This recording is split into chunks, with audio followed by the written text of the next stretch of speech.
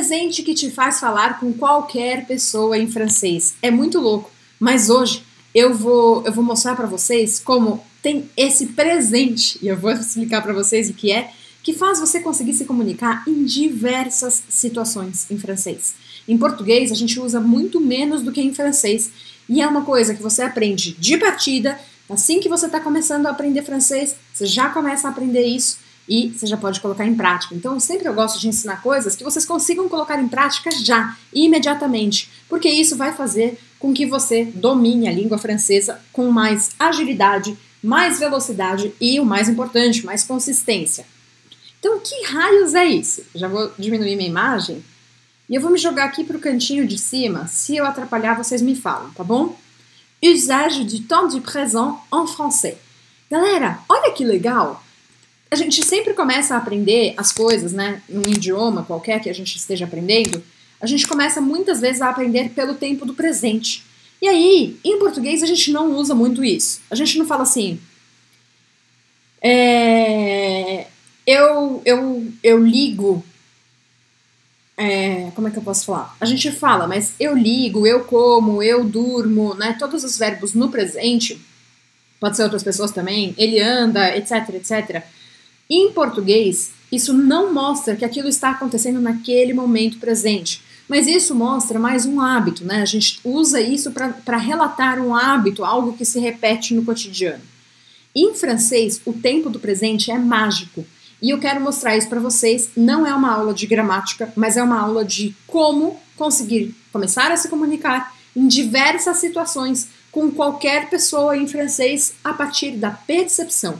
Uma das coisas mais importantes do francês ativo, e eu repito para vocês isso quantas vezes for necessário, mas uma das coisas mais importantes do francês ativo é a gente conseguir conectar o, no, o nosso conhecimento, é a gente conseguir conectar é, os nossos os nossos sentidos, né? Então, por exemplo, muitas vezes quando as pessoas vão aprender algo, elas apenas leem ou apenas escutam. Eu sempre falo isso para vocês. E no francês ativo, eu mostro para vocês que vocês precisam conectar os sentidos: ler, ouvir, falar, escrever. Né? A gente vai usar essas quatro, as quatro competências do aprendizado de um idioma. A gente precisa fazer isso. Quando você não faz isso, você foca nas regras. E focar nas regras toma muito mais tempo, é chato. Quem aqui gosta de ficar decorando lista de verbo? Me fala aí, pode ser, tem, sempre tem alguém que gosta, mas eu imagino que a grande maioria de vocês não goste, sinta que perde tempo, sente também que não consegue sair do lugar, que não consegue lembrar, que tem problemas de memória, é, que não consegue memorizar o que aprende. E esses sentimentos são naturais, porque vocês estão aprendendo da forma errada. Ninguém consegue aprender dessa forma. E a gente ensina para as crianças de uma forma, sinceramente, muito errada. Eu fico me perguntando como que eu vou conseguir ensinar para o Theo, meu bebê de um ano e pouco, um ano e dois meses, quando ele chegar no momento de aprender verbos, de aprender essas coisas, é, se a escola exigir que ele aprenda, eu não sei se hoje em dia as escolas ainda exigem isso, né? Mas quando eu estava na escola, as escolas exigiam que a gente aprendesse de cor as coisas. E isso traumatiza a gente. Isso faz com que vocês odeiem gramática. Isso faz com que vocês se bloqueiem na hora que alguém explica alguma coisa de gramática para vocês. Isso faz com que vocês sintam que não têm capacidade. Então, se você se reconhece aí com alguma dessas coisas, me fala. É, então, o que, que eu quero falar para vocês? Que o tempo do presente em francês é extremamente útil, muito mais útil do que o presente em português, acredite se quiser. É claro que não existe é, a gente poder tirar um tempo verbal, tipo, ah, isso aqui não é útil, não precisa aprender. Não existe isso, tá? Não façam isso nunca. Nada de um idioma é inútil, acreditem. Nada de um idioma é inútil. Mesmo um tempo verbal que seja usado apenas na literatura, você vai precisar conhecer também. Mas aqui eu quero falar para vocês sobre a variedade de usos do presente em francês.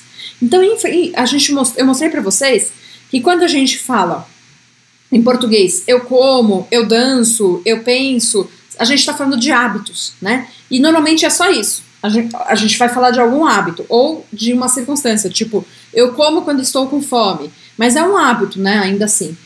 Só que, quando a gente fala em francês, a gente usa muito o tempo do presente.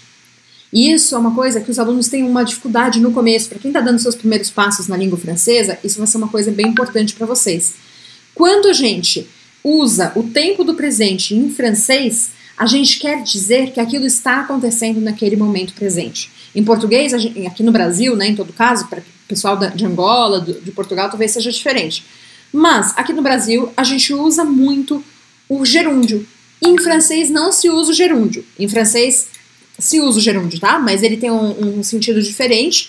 E para você mostrar que uma ação está acontecendo naquele momento, por exemplo, para eu falar, eu estou falando com vocês, eu estou explicando para vocês, eu vou usar o presente. Eu vou falar, je vous explique, je vous parle, né? Então é só eu usar o tempo no presente. Eu estou bebendo água, né? Se eu pegar minha água, eu estou bebendo água. Je bois de l'eau. Então a gente usa muito o presente.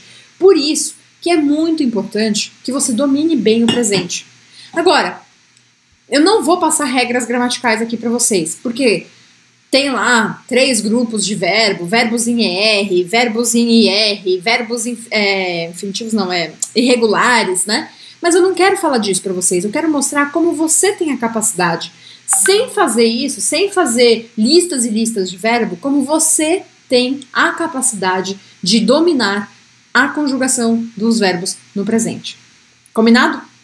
Ah, só um adendo. Elisa, é, o presente também serve para a gente falar de hábitos em francês? Sim. Tá bom? Ele serve nas duas circunstâncias. Então você vai entender se é uma coisa ou se é a outra, graças ao contexto da frase. Eu sempre falo para vocês: contexto é o poder. Não adianta você querer traduzir palavra por palavra, que isso não vai dar certo. Daisy perguntou: em francês existe todos os tempos verbais como, como em português, pretérito perfeito, imperfeito, etc. Sim, Daisy, existe. Muito legal você saber já perceber que existe uma referência. O francês e o português, as duas línguas, vêm do latim. Então, na estrutura da língua, né, na, na, lógica da língua, as duas línguas são bastante parecidas. Ruben falou, mas e o passé composé? Passé composé é o pretérito perfeito do português. O nome dele é diferente e a forma de formar o tempo é diferente, mas o tempo é o, é o mesmo, no sentido de é, no sentido de uso, né? Os usos são os mesmos. Então, maravilha. É, quero voltar aqui à minha página, porque eu quero colocar aqui para vocês então vamos, vamos nessa primeira pergunta aqui. Usage du temps du présent en français. Olha só, passei para o francês hoje, hein? Je vais vous parler plus en français. C'est important pour écouter. É muito importante que vocês escutem um pouquinho mais de francês. Então, o tempo do presente. Aqui eu vou colocar em francês quais são os usos. Depois eu explico para vocês em português. Quando que eu uso o tempo do presente?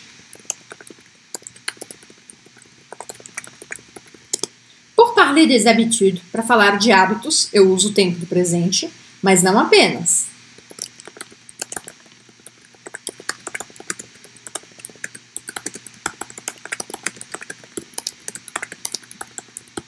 Pour montrer qu'une action se déroule au temps du présent. Isso significa para mostrar que uma ação está acontecendo no momento presente. Então, se você quiser colocar a tradução em português, eu vou repetir. Para falar de hábitos, e para falar que uma ação está acontecendo no momento presente, tá bom? Existe um outro tempo verbal que é o imperativo, que é um pouco parecido com, com o. É, ele, ele fica parecido, na verdade, com, com o. Eita, com o presente mas não é o mesmo, tá? Então quero só que vocês se liguem nisso, não é exatamente a mesma coisa. Então não vou colocar, é óbvio aqui, porque é outro tempo verbal. Se inscreva no meu canal e não esquece de ativar o sininho para receber absolutamente tudo do Avec Elisa e mergulhar de vez na língua e na cultura francesa. C'est parti? Allez, venez!